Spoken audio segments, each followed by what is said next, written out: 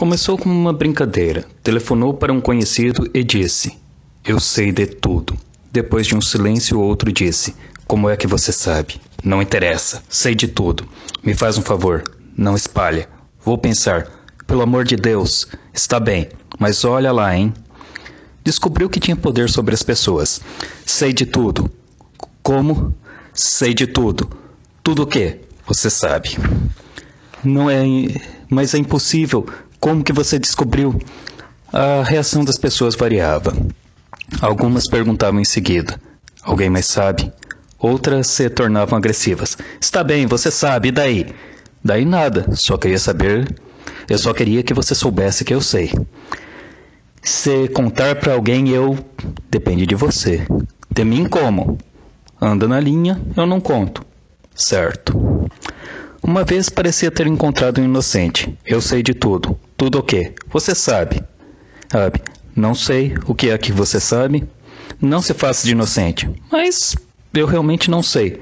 Vem com essa. Você não sabe de nada. Ada, quer dizer que existe alguma coisa para saber, mas eu que ainda não sei. Não existe nada.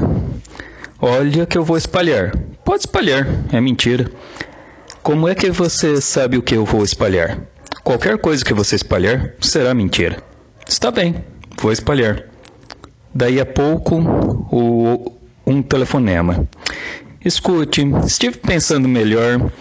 Não espalha nada sobre aquilo. Aquilo o quê? Você sabe.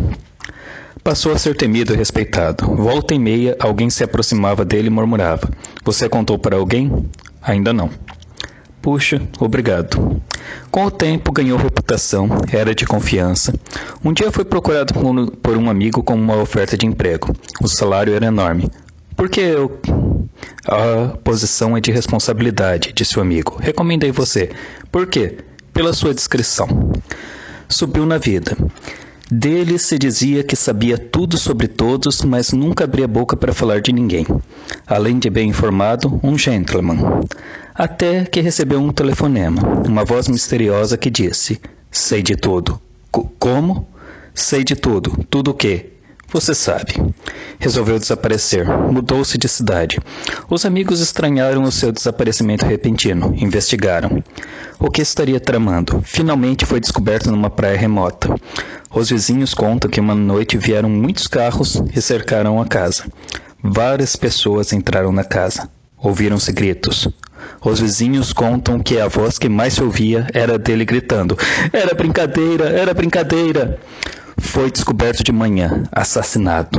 O crime nunca foi descoberto, mas as pessoas que o conheciam não tinham mas as pessoas que o conheciam não têm dúvidas sobre o motivo. Sabia demais.